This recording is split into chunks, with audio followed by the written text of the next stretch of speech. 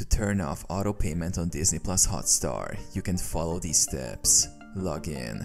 Open the Disney Plus Hotstar app or website and log into your account using your credentials.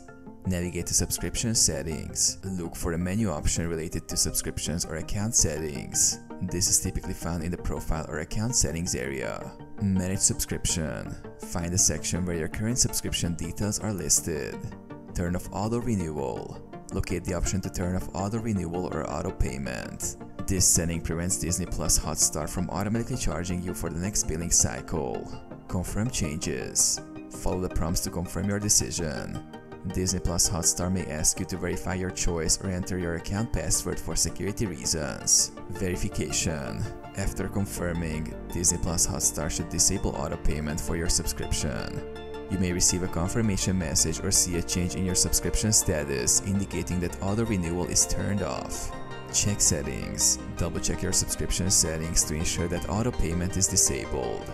Look for any confirmation email from Disney Plus Hotstar regarding the change.